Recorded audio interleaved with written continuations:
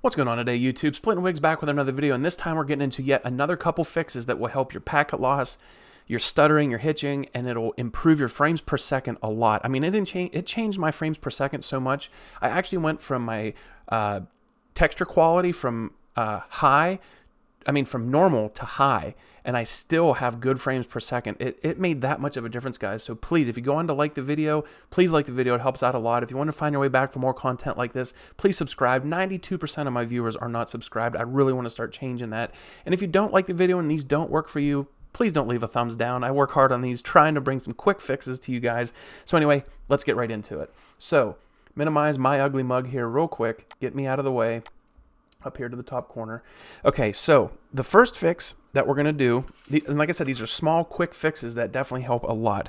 The first one is changing your power plan. So you come down here for Windows Run, and you're going to type in choose, wait, no, hang on second, one second, power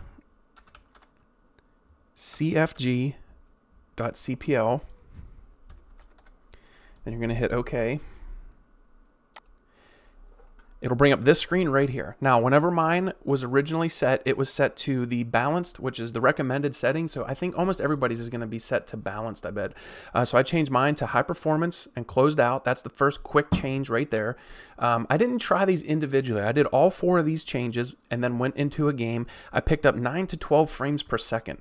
And then I thought to myself, well, if my frames are that good, I think I might actually bump up my graphics. I bumped up my graphics and I'm still holding like 85 to 90 frames on the highest settings in the in uh, Warzone, which has helped me a lot. I can see players so much better. Okay, now this one's a little bit of an odd one. I highly doubt that, uh, you know, this might be one that you guys don't have, hopefully. Uh, come into your Discord, hit uh, user settings, then you want to come down to appearance, scroll down, hardware acceleration. This is automatically in Discord set to enabled. You want to click that over to disabled, and you want to close that out. That's another really quick, easy change. Uh, that's what we're all about here on the channel is quick, easy changes, get you back gaming at the best possible frame rates and anti-lag and everything that way. Uh, okay, now the next one is, is very similar. It's your uh, Google Chrome uh, advanced um, settings here. You want to click on, I think it's this one. Yeah. So you click on the ellipse, come down to settings, click on settings, and then got to slide this over. You want to go down to advanced, scroll down and you click on system, which will bring up this setting right here. Same thing as in Discord. This is use hardware acceleration when available. This is automatically enabled. You want to disable this setting. And uh, that one is that easy as well.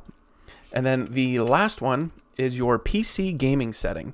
Um, so this one sometimes will be set to gaming, but mine wasn't actually. I actually was I actually got to make all these changes and get back in. So you, you go to settings, scroll down to gaming. On the left side here, you click game mode and you want to make sure this is set to on. Now mine was off, so I got to make all of these changes to my system, and I'm telling you, it helped a ton, guys. This really helped me out a lot. If you do go on to see frames jump, less orange boxes, or anything improving, please let me know in the comments. It's much appreciated. If you have any fixes that might help me or my viewers, I would much appreciate a comment below. Let me know what you're doing that's possibly helped you out and got you playing Warzone a little bit better. Anyway, I hope you got something out of the video. Uh, Splitting Wigs out. I'll catch you on the next one.